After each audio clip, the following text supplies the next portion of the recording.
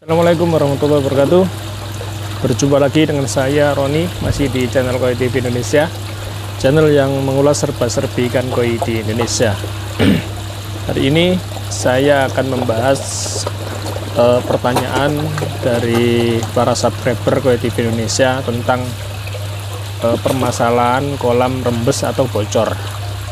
Jadi tadi ada pertanyaan yang masuk di kolom komentar channel kreatif Indonesia menanyakan uh, kolamnya bocor dan meminta uh, solusi dari kita. Jadi jangan ke mana-mana ya. Kita bahas tentang masalah kolam bocor ini sampai selesai. Oke. okay.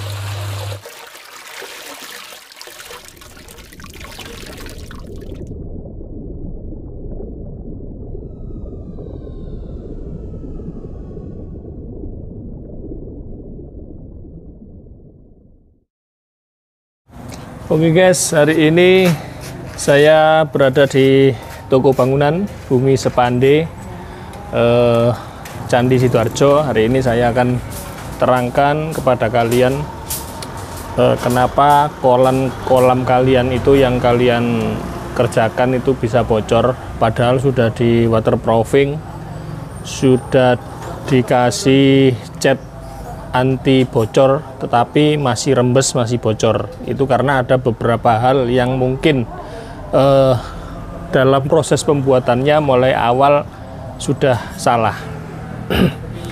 Yang pertama uh, yang pertama kita dalam pembuatan kolam agar tidak bocor itu yang pertama kita pada waktu proses pengecoran biasanya teman-teman itu antara dinding dan lantai kolam itu dibuat dinding dulu.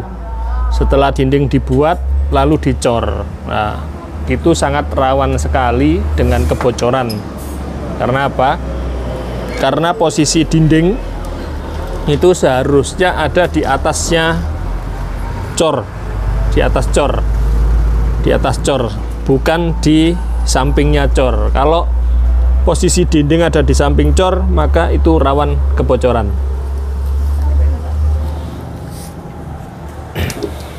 Jadi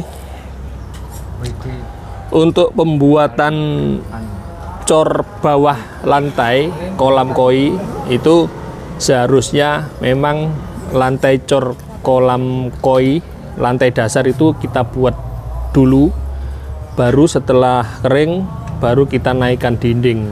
Itu adalah salah satu apa namanya salah satu trik agar kolam kita itu tidak bocor.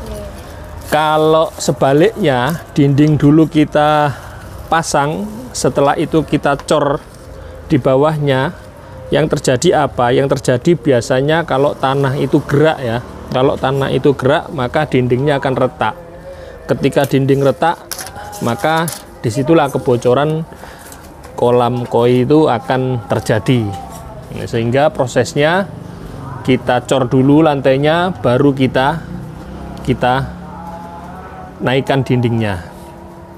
Yang kedua eh, teman-teman eh, biasanya eh, lupa ketika mau melakukan pengecoran lantai kolam itu biasanya langsung dipasang pipa tanpa diberi lantai kerja. Ini juga sangat rawan sekali.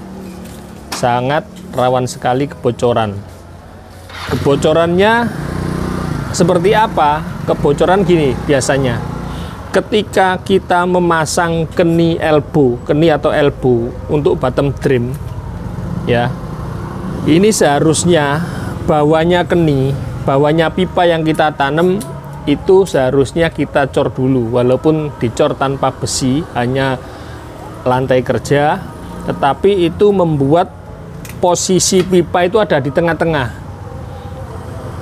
Di situ menghindari pipa itu goyang.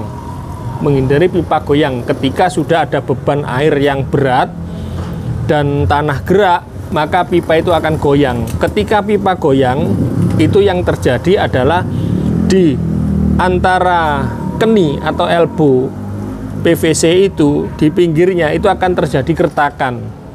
Nah, keretakan itulah yang mengakibatkan kebocoran. Ketika retak, walaupun kita cat dengan uh, cat waterproofing yang sangat bagus dan sangat mahal pun itu tidak akan bisa menyelesaikan masalah karena struktur cornya sudah retak gitu. Dan yang ketiga yang ketiga adalah pakailah cor itu pakailah produk-produk pengeras cor. Kalau di sini itu di toko bangunan itu ada ini ada nah, ini pakai aditon bahan campuran semen perekat beton ini bisa kalau ini untuk lap apa campuran untuk pasang keramik ya? Atau batu alamnya biar nggak lepas ini bisa dipakai. Terus kalau yang campuran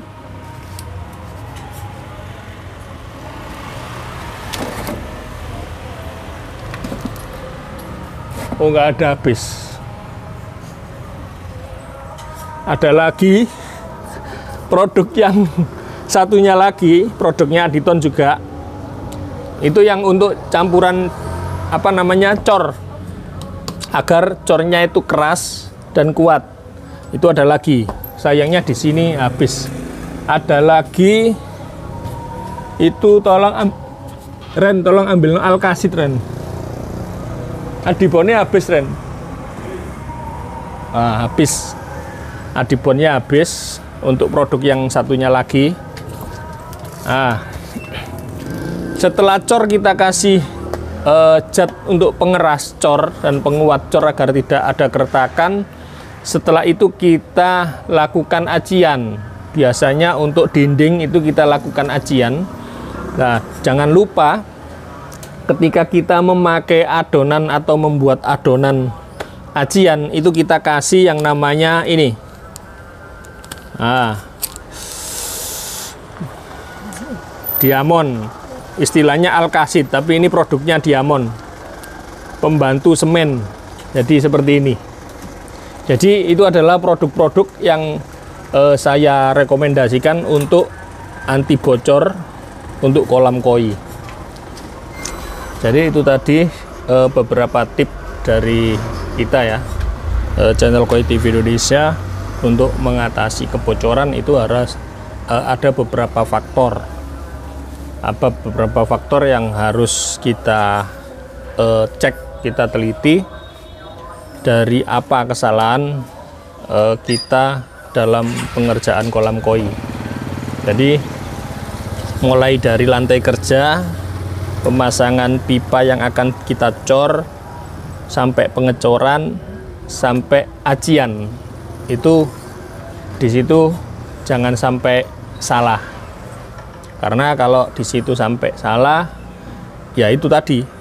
Akibatnya kolam kita akan merembes atau bocor walaupun kita kasih waterproofing semahal apa pun tetap akan bocor. Karena pengerjaan mulai awal sudah salah. Jadi seperti itu. Mungkin itu saja ya video yang bisa saya buat pada siang hari ini untuk menjawab pertanyaan para subscriber Koi TV Indonesia. Terima kasih waktunya sudah melihat video-video terbaru dari channel Koi TV Indonesia. Jangan lupa subscribe dan like apabila video kami ini bermanfaat. Wassalamualaikum warahmatullahi wabarakatuh.